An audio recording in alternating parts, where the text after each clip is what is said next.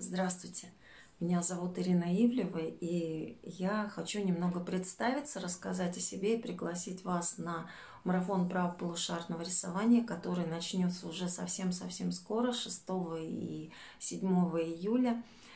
И давайте немного расскажу о себе. Я автор и ведущая марафонов правополушарного рисования и детского рисования – и приватной группы «Гуашь на распашку». Со многими участницами мы уже знакомы, работаем уже практически целый год. А э, для тех участниц, которые к нам сейчас только-только присоединяются, наверное, будет интересно узнать, какая у меня методика, как я преподаю, как, э, какие рисунки мы рисуем, э, что мы вообще творим в марафонах правополушарного рисования – все это вы узнаете уже скоро, 6 числа. Мы с вами нарисуем первую картину. 7 э, числа мы нарисуем с вами вторую картину марафона правополушарного рисования. Но ну, это, как бы так скажем, тест-драйв, фрагмент марафона правополушарного рисования. Вы увидите так чуть-чуть за кулисье, насколько э, интересно или неинтересно для вас это будет. Вообще марафон и вообще рисование правополушарное, я о нем расскажу, конечно же, на нашей с вами встрече в группе, в закрытой группе тест-драйва, в которую сейчас можно присоединиться. Я вам расскажу разные техники, расскажу некоторые приемы правополушарного рисования и, конечно же, отвечу на все ваши вопросы, которые вы будете задавать.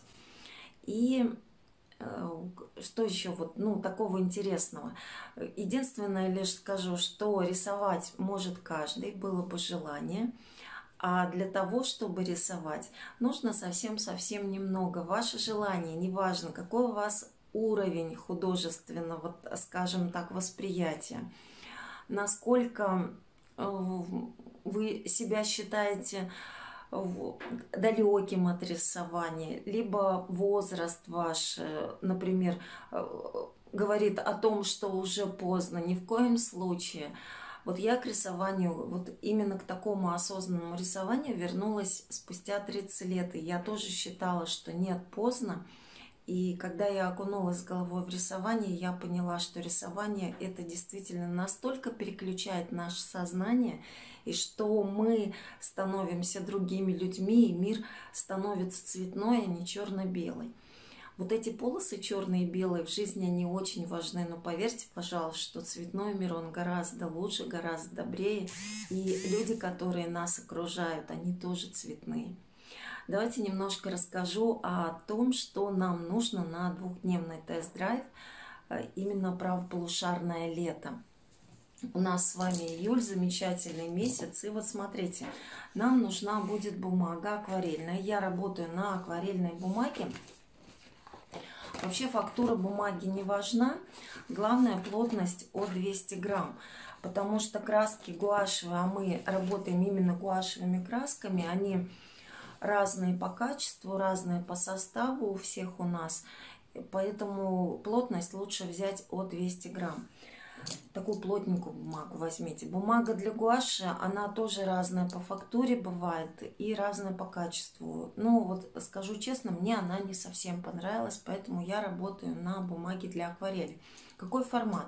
Формат либо А4 возьмите, либо возьмите А5 формат, половинку альбомного листа. У нас такие простые легкие картины, но они очень интересные и интересные как в технике исполнения – так и в сюжетах. Поэтому я ну, надеюсь, что вам все понравится. Дальше, кисти. Смотрите, как в правополушарной технике говорят. Ну, если кто хочет, можете записать, доставайте блокнот и запишите, какие кисточки нам нужны. Это, конечно же, шутка потому что нам с вами нужны будут три кисти. Это большая, ну вот я работаю синтетикой и щетиной, то есть мы чередуем эти кисти. Вообще вот я всегда говорю, что кисти нету конкретно одинаковых стандартных кистей для всех. У нас правополушарное рисование и у нас правополушарные эмоции. Мы отключаемся от логики, Поэтому вот смотрите, кисти всегда говорю, подбирайте, пожалуйста, под себя. Здесь мы используем синтетику, щетину, колонок можно использовать. Большая кисточка плоская, средняя кисточка плоская и маленькая кисточка плоская. Вот этих кистей достаточно для того, чтобы выполнить любой рисунок прав, правополушарной техники. Но иногда нам требуется еще тоненькая кисточка.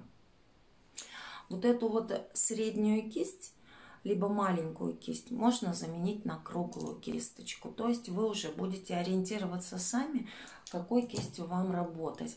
Если у вас вот целый арсенал кистей, это еще просто вот, ну, как бы совсем-совсем мало. Это вот эти кисти я обычно промываю, убираю вот в стаканы. И у меня этих стаканов, наверное, штук 5 стоит.